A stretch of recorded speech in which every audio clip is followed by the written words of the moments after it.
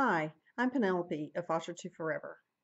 And whether you've grown your family through the miracle of adoption or you're just considering it for the future, there are truths about adoption that every parent should know.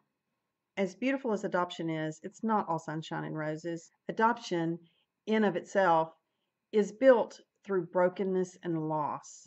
And as parents, we need to understand that loss and how that trauma can manifest itself in our child's behavior and how they look at the world. I'm so excited to be bringing you the Adoption Heart Conference, an online event where we can dig deep and talk about the tough issues surrounding adoption. If you've ever felt that you just couldn't deal with the difficult behaviors that come with parenting a traumatized child, or if you've ever wondered if healing will ever come to your adoptive family, remember you're not alone in this.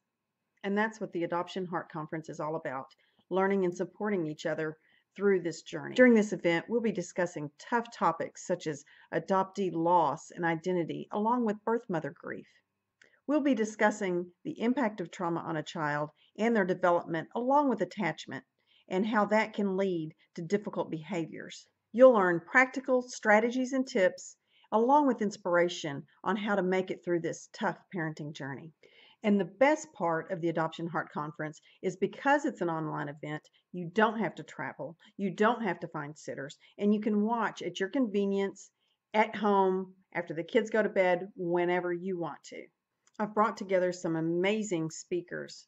We've got Bryan Post, Jillian Lauren, Stacy Manning, Charlotte Kostelic, Mike Berry, Sherrie Eldridge, Ashley Mitchell, among others.